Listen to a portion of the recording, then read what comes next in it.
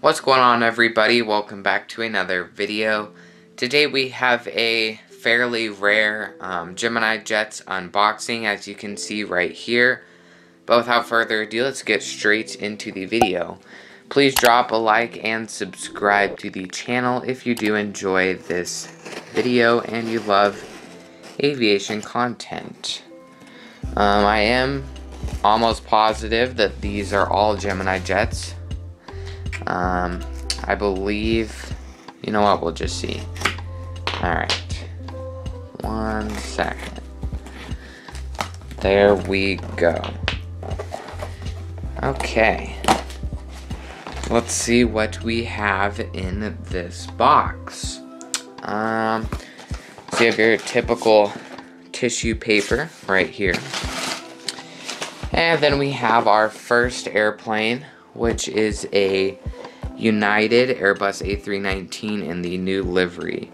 Now I do know that I already have one of these, but I decided to pick up another one for Denver. And then we have a Delta 757-200. Um, they did just recently start flying to Denver from various other routes. Um, but yeah, so we'll start off with the boxes. I'm not going to go too in-depth of the box, um, but here we have your Gemini Jets logo made for collectors by collectors. And then you have your Delta 757-200 computer-generated aircraft. And we have our look inside tab. Here are some facts about the aircraft. You can pause to read those. And you have your aircraft lying right inside. I did pick this up from Amazon for about um, $50. Because this is actually fairly rare, if I'm being 100% honest. Okay, here we go. So you have your plastic um, covering, and then we have the aircraft right here. So let's get into the review. As you can see with the new camera, um, the detail of the aircraft is much more um, vivid. So right here we have the cockpit windows as well as the nose cone right here. And the landing gear, the front landing gear, very well detailed. And then the um, Sky Team livery, I think that is what that is. Then your L1 boarding door with your Delta logo. And then you have your um, first class windows L2 door, which they sometimes use for economy um, boarding. Then you have a antenna located up here. Then you have a few more windows, and then we get to the overwing exits, and I'll slide the aircraft down just a little bit here.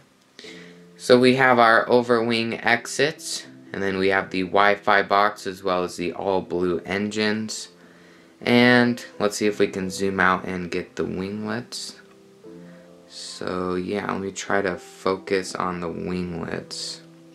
Yeah, that's not to happen, too small. Um, but these are just dark blue winglets. And then right here you have your antenna and the um, Delta um, tail or logo and then your horizontal stabilizers. Um, I am hoping these are metal. I don't know if you guys can hear that, but that is metal. Um, for a little bit, Gemini Jets was making their horizontal stabilizers right here out of um, plastic, and it did make the community quite mad, if I do say so myself. But I guess they went back to metal. And then you have your Delta logo and your um, landing gear here at the bottom and your all blue engines and then you have your stand hole also. So yeah let's get on to the um, next aircraft.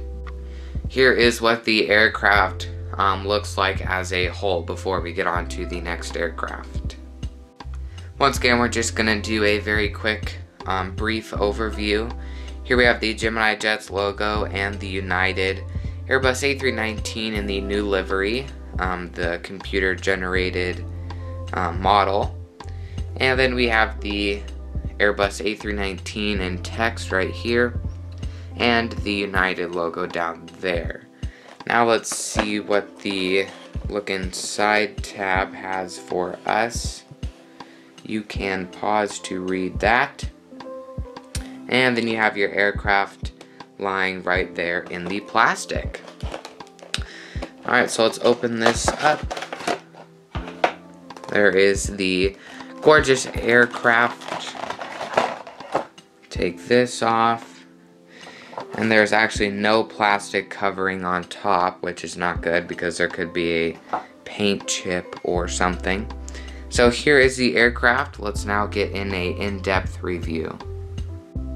Starting off at the front um, half of the aircraft, we have the nose cone right here and the um, cockpit windows as well as the Star Alliance logo.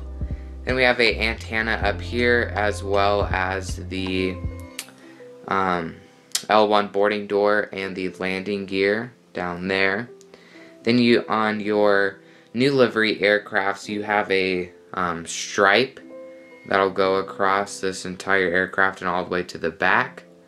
And then right here it says um, uniting people, connecting the world, or connecting the world, uniting people, something like that. That's their slogan.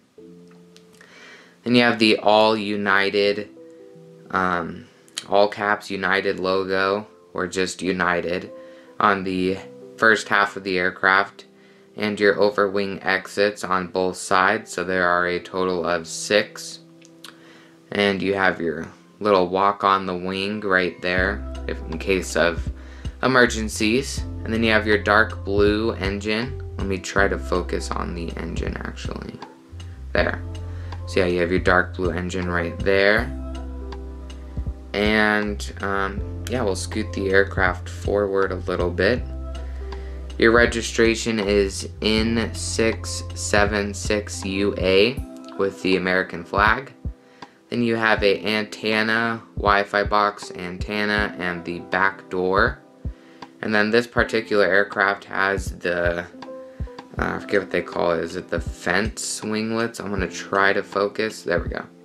Has the fence winglets, as you can see right there, and your navigation lights on both sides.